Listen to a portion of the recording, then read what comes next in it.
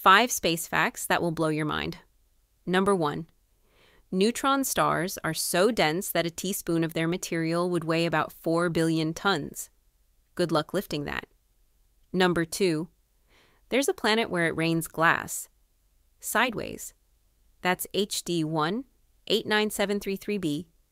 Winds up to 8,700 kilometers per hour. Bring a strong umbrella. Number three, in space, metal can weld together without heat. It's called cold welding. Handy. If you're a robot. Number four, the largest known star, UY Scuti, is so big that if it replaced our sun, it would swallow Earth and Mars and Jupiter. Number five, the observable universe is estimated to be 93 billion light years across, and it's still expanding faster than you can run away from your problems.